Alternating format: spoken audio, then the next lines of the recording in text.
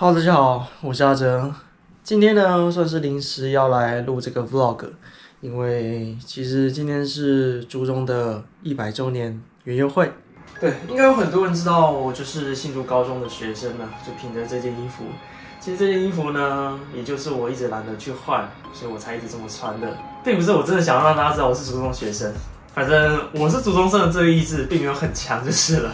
但毕竟这个一百年也是有着相当特殊的意义嘛，那就干脆出门一下，朝圣一下这个十年前待过的学校，来看看到底变了多少，还有跟大家谈一些回忆的东西吧。哦对，然后我当然不会穿这一件出门啦，平常。还是会换一半的衣服出门的。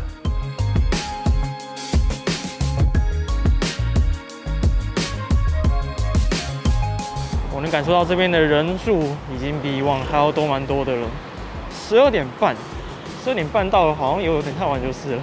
我已经有点忘记高中的园游会是从什么时候到什么时候了，但应该是从下午一两点就要开始收摊了吧？感觉我今天应该遇到蛮多熟人的。我指熟人不是什么观众哦，诶，虽然观众可能也会啦，但是。一些同学的话，应该多多少少也会遇见一些吧。那我们现在在走的这条路呢，叫做学府路。学府路的后面其实还有另外一间高职，叫做新竹高商。前面这边呢才是新竹高中了。好，现在我们走到这个地方呢，是新竹高中的后门。基本上这边是不开放的，但是现在园游会嘛，所以前门后门应该都是开着的。好的，总之我们就是来到这个传说中我怀念的学校了。这边就是新竹高中的正门啦。基本上校车就是在这个地方放门下来，然后我们就走进去。基本上就会有警察服役的纠察队站在这边。纠察队的话，大概就会站在这个地方，有两个，一个在这边，一个在在这边。他们就是会站着，然后检查你的衣服有没有穿好。我指的衣服有没有穿好，就是说你一定要穿着正当的制服，而且皮带那些的一定要出现。衣服要扎进去，不能够跑出来，所以你往往可以看到有一堆学生，就是会在经过纠察队之后，就这样子把衣服全部抽出来，因为他们就很不喜欢那种扎进去的感觉，看起来还蛮土的。然后前面这一栋楼，没有记错的话，它应该叫做至善楼。那旁边这个呢，是我们的音乐厅。音乐厅也算是我们初中生的一段回忆吧，因为我们有那个音乐课。那音乐课就有一个规定，就是说一定要去看一场初中的音乐会才可以。你要有那个票券证明，然后音乐会是由初中的音乐班去开的。所以每一次一年一度的音乐会，你就可以看到前面有一大排人在那边，就是为了要写音乐报告的。然后这个镜子也是一直以来都有的，这个我们俗称照妖镜吧。这边还真的没什么变了，就只有前面这一栋楼好像油漆有刷过，比较红了。反正这一所新民楼呢，通常都是住高二的学生，就是高二的教室都在这个地方了。那前面这边就是我们的操场，A.K.A 目前约会的场地了。能确定的是，今年真的比前几年还要盛大太多了。这是什么东西啊？而且这个跑道它的颜色换了耶。我们高中三年的时候都还是红色的，现在都换成蓝色的了。超多人的，我可以保证，我高中这三年都没有这么的盛大过，吓死人了啦！好了，还没吃午餐啦，就来顺便逛逛，然后买一些东西来吧。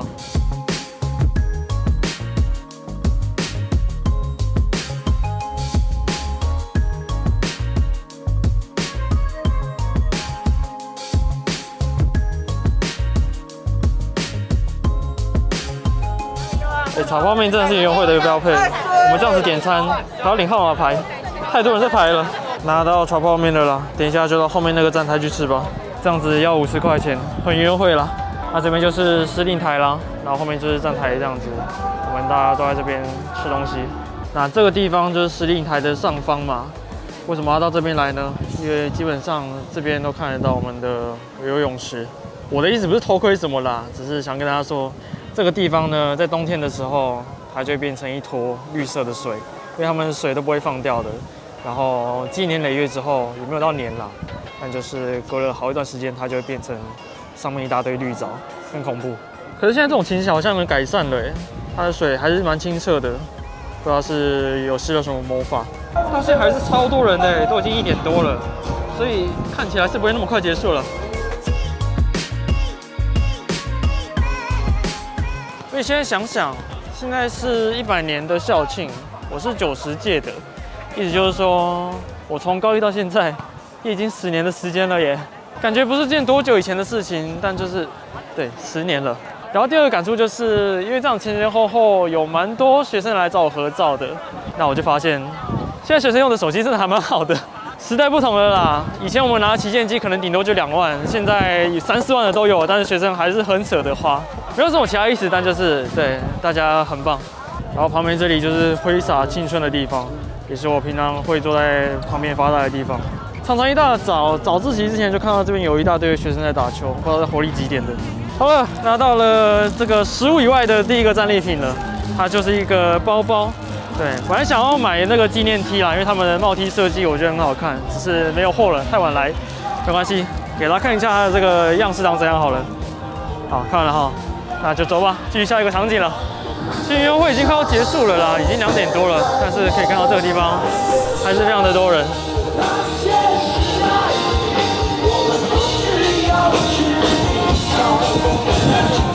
可以看到各种收摊的人群了，那我们就以逛校园的方式来跟大家稍微聊一下吧。那我们就从这边开始走起吧。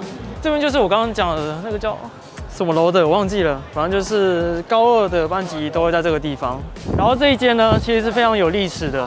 它现在应该叫做校史馆吧，但以前是叫做剑道馆。反正就是里面有剑道社。这里面好像已经有一百多年的历史了。不对，建校也是一百年，所以它是到底是几年呢？反正就是很久了啦。那这间很明显是已经有整修过了啦，因为它的外貌跟我当初读三年的时候已经不太一样了。这很明显就是比较新的，就是它的外形啊、砖瓦那些的都来的新很多，而且现在应该是可以进去的，就稍微进去看一下好了。有一个让人家签名的地方，但是我是一个非常不会签名的人。你们看我的字迹的话，应该会觉得我很像是国中生还高中生之类的。但是就这样吧，我不管了。老实讲，我读三年以来第一次来过这个地方，以前从来都没有进来过。我也不记得以前有这样开放就是了。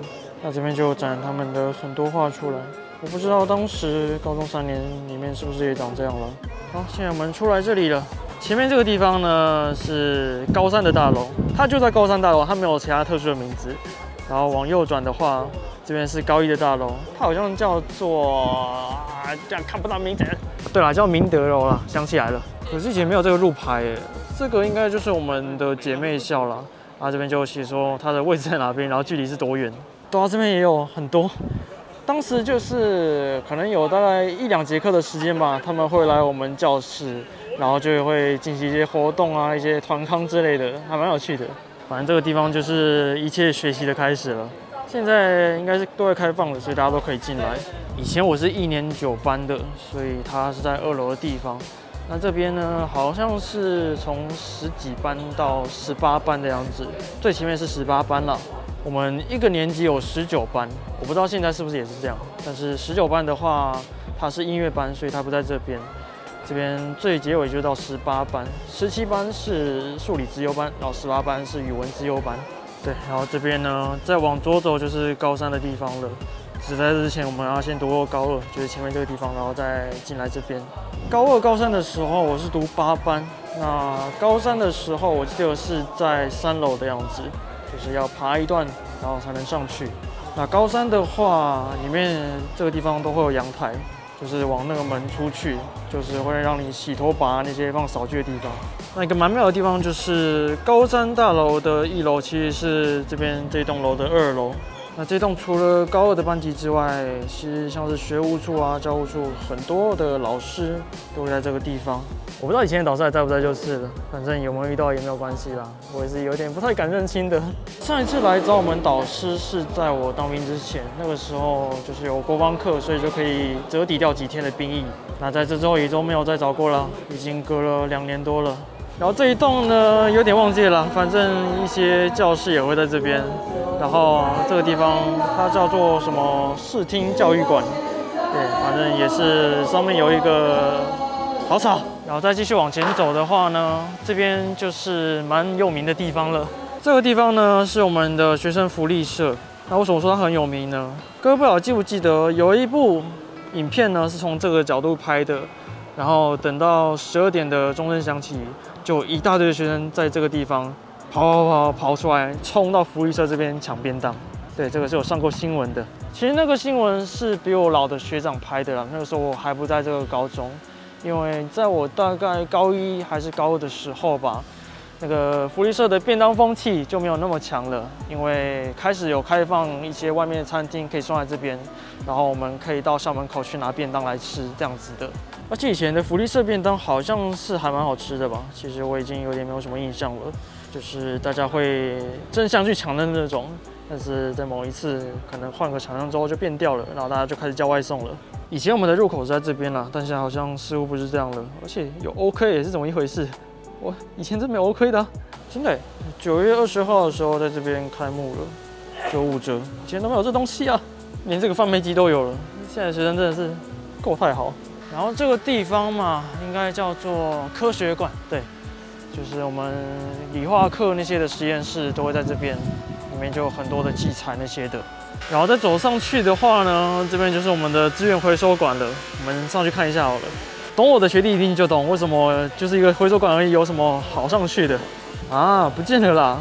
本来这个地方会写着阿哲这两个字，对，但是那阿哲不是我的意思，他的阿哲指的是就是里面其中一个管理资源回收厂的人，因为基本上我们打扫的人都会知道他，因为他就是在那个回收厂里面，而且人还蛮有趣的。所以我们人称竹中三哲嘛，就是李远哲、柯文哲跟阿哲，是那个回收厂的阿哲。但是我不知道他现在人还在不在啦。但是那个字不见得，多少还是会觉得有点可惜，不能朝圣了。然后这是我们的图书馆，它变很多哎，这跟我们当初看到的完全不一样了。哇塞，这应该是竹中的校园里面改变最大的移动了，完全都不一样了。以前一楼这个地方还是自习室的，现在好像都变成一般放书的地方了。原本自习室的桌在这边，现在也都不见了，整个格局真的都完全不一样了。它其实还是有读书的地方啦，只是是在前面这边。那么 B one 的话，它现在叫做译文空间，没有啦，以前好像也是这样子。对，格局基本上是没有太大的变化。我高中三年只有进来过一次，好像是因为某一场课的样子，有点忘记是什么了。那到了二楼这里。以前我们高中三年的时候，二楼才是真正的图书馆所在。那这个地方翻新之后，其实也都是书啦，只是真的跟以前非常的不一样了。所有的东西你们眼前看到的，都全部翻新过了。以前的这个地方，我记得是有摆一些电脑，让我们插东西。就现在全部都是书柜、书柜、书柜，然后还有各式各样的书。但是高中这三年来来过的次数真的没几次。有一百趴的几率来都是因为有课程的关系。那平常主动自己过来的次数是零次啊，因为我真的是不喜欢读书。学校真的把这里都变得很不一样了，但其实是还蛮喜欢的。虽然少了一点古色古香的感觉，但是带给人的观感截然不同，也很不错。哦，走到这边三楼变化就比较少了。这间叫做 ATM，什么艺术与科技多媒体教学中心，里面看起来就跟我当初十年前一模一样了。然后这个地方走下来，这边是高一大楼吧？各位还记得吧？那这个地方呢，就是很多人的回忆了。它其实就是一个普通的生态池啦。但是我不知道你们高中有没有一个传统，就是生日的人呢会把寿星抬起来，然后丢到这个生态池里面。还是只有我们高中才这么做吗？对，高炮什么的已经不怎么新奇了，我们都是丢生态池来处理的。当然是会被很多教官骂啦，但是对，还是会有这个传统。我相信十年后也是一样的。倒是图书馆前面的这个地方好像十年都没有变嘞，椅子好像我印象中就是长这样子，然后旁边这些围栏什么的，好像也都围在这边啦，不知道围多久了，到底哦。那这条路旁边呢，其实有一个小小的门，它平常是不太开放的，但是有时候呢，它开放，它会往那边是十八尖山。那十八尖山其实是非常多族中人的回忆之一，因为我们都有一个每年的传统，就是所谓的跑山。跑山的话呢，就是我们要沿着十八尖山，他们会给我们一个路线，总长好像是五点六公里的样子。每一年一定都要跑这一个五点六公里，而且不止这个五点六公里，这之前呢，好几次的体育课也都要跑类似半程啊、十分之三程之类的，那个每一次也都是两公里起跳。那我记得好像是半程什么的吧，就是你跑完之后。会在这个十八金山那边下来，然后沿着那个门口进来休息。那我有跟他说，我是个很讨厌运动的人嘛，所以这个跑山对我来说是有一点折磨。但是它跟跑操场的感觉真的不一样。跑操场你就只是这样子沿个好几圈，跑个三千六吧。但是跑山虽然是更远没有错，但是你可以看到沿路很多的风景，那种无聊的感觉变低了，就会转换成一点点体力吧。所以这五点六公里是没有那么的累啦。当然，如果要再跑一次的话，我是不太想要的。然后我们跑完半程之后，就从这边下来嘛。那通常我那个时候就已经直接回教室休息了，但是还是有一些体力过剩的人会在那边打篮球，我真的不知道他们在想什么。差不多就是这样的情景啦。无论是体育课还是各种下课时间，每一次的操场大概都会是长这样的。然后左边这里呢是学生的宿舍。那这边就是完全没有接触过的地方了，因为新竹高中还是有蛮多比较远的，像是苗栗人过来这边读书，他们通常就是住在宿舍这边了。然后再继续走过来，这个地方是我们的网球场。那如果再继续往后面这边的话，就是底下有电脑教室，还有音乐教室的地方了。这个地方叫做艺能馆，也算是高中三年会很常来的一个地方吧。比如说我刚刚说的电脑课，还有音乐课，其实美术课也是在这边的。电脑课好像是在我高一的时候上的吧，虽然那个时候老师我不是特别喜欢啦，但是毕竟里面有电脑，我对电脑有兴趣，所以还算是一个不错的回忆吧。那如果我们往前看的话，会看到又是另一个操场，但那个就不是新竹高中了，那个是培英国中的操场。那如果再往左边走的话，可以看到这边有一个门，这个门呢，就是我们跑全程跑山的时候会回来的地方了。就这样子跑跑跑跑下来的时候，它就会往这条路走，然后跑到那个操场这边，会有一堆人迎接你，你会拿到一个号码牌，就是说你目前是这一届的第几名这样。对，很残酷，我们跑山还是有分名次的。对，这种东西就还要拿到名次。那我记得我那个时候拿到大概是五百多名吧，我们一届大概七百多个人，那我拿到五百多名，我觉得我自己已经有点了不起了。而且你在跑的过程，如果你是最后一位的话，你还要拿着一个红杆子。他的意思就是让大家知道你后面已经没有在跑的人了，毕竟那是好几百个人一起出外校园的地方嘛，所以安全之类的还是要注意一下。但是对最后一名，你就要拿这个东西，那个羞辱性还是有点强啊。只是你可以看出，这个地方就是一个很讲求五育并进的学校，就是我们的校歌一样。所以不止跑山啊，其实我们每一年都会举办两次的运动会，一个是冬天的陆上运动会，就是像前几天这样子，然后还有一个是水上运动会，它是在夏天的。陆上运动会顾名思义，就是大家在这个跑道啊、操场那些的进行一大堆的活动。那么水上运动会的话，刚才有给大家看到，就是那边的游泳池。除了上游泳课之外呢，我们的水上运动会也会在那边进行一堆游泳的活动。那那两天对我来说就只是坐着发呆玩手机的日子了，因为我又不运动了，我不可能去参加什么东西啊。其实我对刚进来这一栋至善楼也有一些回忆吧，但是我觉得是有一点点可惜的回忆。如果我们一直往这边走，走到底的话，最后一间其实是碧联会的办公处。该怎么讲？高中的时候我是有参加碧联会的。你们对于碧联会学生的印象可能就是很外向、很活泼、很喜欢办一些活动。那确实是这样子，没有错。但其实我自己在高中的时候是一个蛮内向的学生，所以会参加这个碧联会，我自己可能也意想不到吧。其实与其说内向，我个人可能是比较偏向闷骚啦，就是还是会有一点点想让自己表现的机会。那因为高中的时候就有在接触拍实况啊、拍片、剪片那些的。所以其实有这么一点点的心，是想要让自己好好的在闭联会里面有一个表现的机会，但结果就是我太怕生了，我成了闭联会里面应该算是最内向、最不敢说话的人。虽然有帮忙拍片、剪片那些的，但是自己在镜头前面几乎是没有露出过一次，顶多也就只是当个配角而已。不不不，可能连配角都不是了，是一个路人吧。所以，如果时光能倒转的话，我可能会再更外向一点吧。我不知道，或许这个内向也是我的舒适圈，没有错。但我是不后悔参加这个毕联会了，而且他是考完学测，你确定不考职考的人才可以参加这个毕联会的。其实很多人都说，竹中以前是三折，现在变四折，多了我这个阿折了。但我自己是觉得，我还没有到这种程度啦，没有这么的伟大。毕竟我在这个地方的身份比较像是一个普普通通的学生吧，在这边读三年书，读完就毕业了。更何况我在这边的成绩真的是不怎么样。